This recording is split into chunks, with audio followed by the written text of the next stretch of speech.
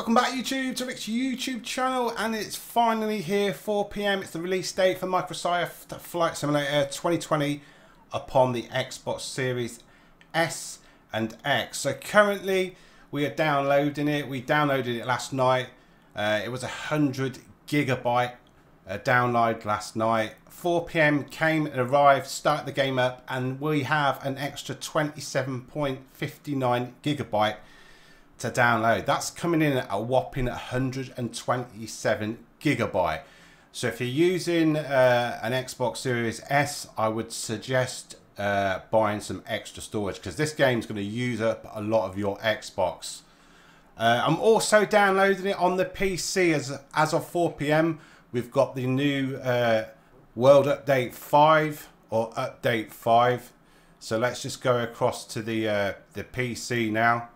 You can see the PC comes in at a whopping 40.29 gigabyte.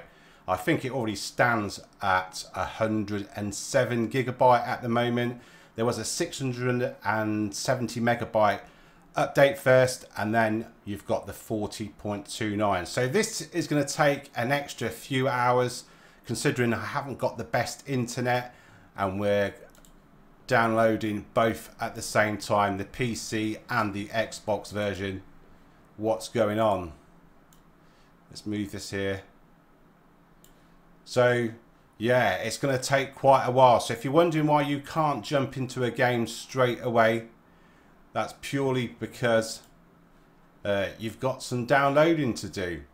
Uh, bit of a, shame uh, for those who wanted to jump onto the game at 4 o'clock uh, if you really have got slow internet like me and uh, left the game downloaded all night to wake up to another 27 gigabyte is uh, not so good.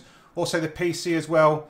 PC updates a lot of the time, uh, but obviously to coincide with the Xbox launch, they've uh, released the real world update or the update at the same time. So there's going to be a lot of downloading in this household. Let me know of your thoughts. Have you already downloaded your 27.59 gigabytes? If you've got some mega hyper super fast broadband, let me know in the comment section what it's like. Yeah, and I'll be making a few more of these flight simulator videos. So please leave a like, subscribe, and I'll get back to you with another one. Thanks for watching.